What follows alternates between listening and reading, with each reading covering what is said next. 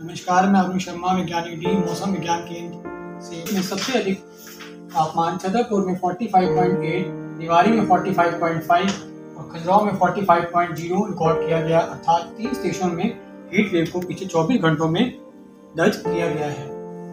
Warm night की बात करेंगे तो उमारिया में सबसे अधिक 7.0 सीवियर वार्म नाइट को पिछले 24 घंटों में रिकॉर्ड किया गया है। उसके अलावा रेनफॉल की बात करेंगे तो वेस्ट मध्य प्रदेश में उज्जैन में सबसे अधिक रेनफॉल 53.1 और ईस्ट मध्य प्रदेश में सबसे अधिक रेनफॉल अनूपपुर में 15.4 mm रेनफॉल को रिकॉर्ड किया गया है। दक्षिण पश्चिम मानसून की बात करते हैं तो दक्षिण पश्चिम मानसून कल से आज की 24 24 घंटों में जो है वो आगे बढ़ा है और उसने अब Goa some more parts of Karnataka, कुछ तेलंगाना के राज्य प्रदेश और कंप्लीट रायलसीमा को इस टाइम कंप्लीट पार कर लिया है। इसके अलावा इसके आगे बढ़ने के भी अभी जो चांसेस हैं वो बहुत अच्छे हैं। सिनॉप्टिक सिचुएशन की बात करते हैं तो कल जो सेंट्रल पाकिस्तान के ऊपर जो है वो 1.5 किलोमीटर के ऊपर साइक्लोनिक सर्कुलेशन बना हुआ था, वो आज भी स्थित है।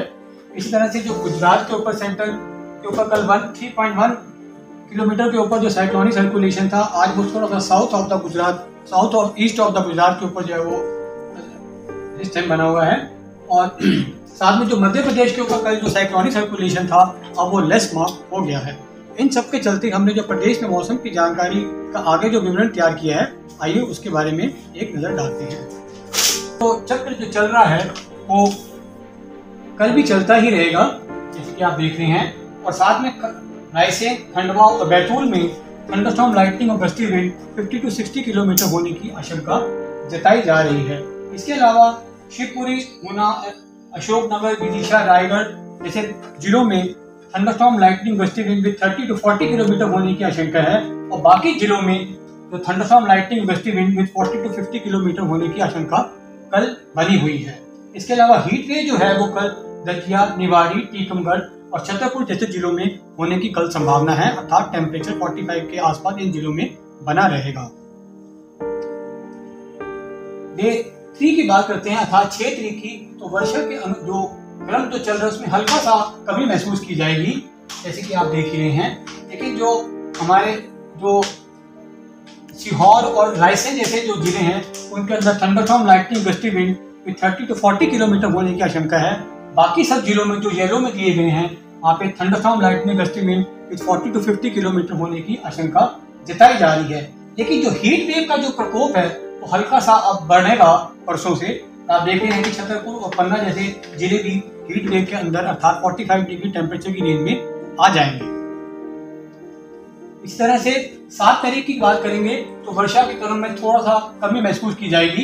लेकिन जो हीट वेव आप देख रहे हैं यहाँ पे, सात तारीख को एक्सट्रीम नॉर्दर्न पार्ट्स और नॉर्थ ईस्ट पार्ट्स में, जैसे कि सतना, रेवा, मेहर, दमोहा और सागर जैसे जिलों में भी हीट वेव दर्ज होने की संभावना, अर्थात पैंतालीस डिग्री के आसपास टेम्परेचर यहाँ पे जाने की उम्मीद सात तारीख को बनी हुई है। इसके अलावा जो धार, बड़वानी खारगोन बुरहानपुर जैसे जिलों में thunderstorm lightning gusty wind with 40 to 50 kilometre होने की आशंका है, बाकी सब जिलों में जो है वो थंडरस्टॉर्म लाइटनिंग और गस्ती विंड विद 30 टू 40 किलोमीटर होने की आशंका बनी हुई है।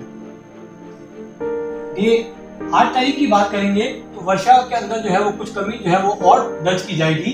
लेकिन जो हीट वेव का प्रकोप है, आप हमारे मॉर्निंग में देख रहे हैं, वो तो थोड़ा सा और बढ़ेगा। अर्थात नॉर्थ ईस्ट के जो ज़िले हैं, उसके अंदर टेम्परेचर बढ़ने की उम्मीद 45 डिग्री ऊपर जाने की उम्मीद बरकरार रहेगी। और साथ ही जो हमारे ये राज्य हैं, जो नीचे के जो राज्य हैं, वहाँ पे thunderstorm lightning gusty wind 30 to 40 kilometre इनमें thunderstorm lightning gusty wind 30 40 kilometre होने की आशंका जताई जा रही है।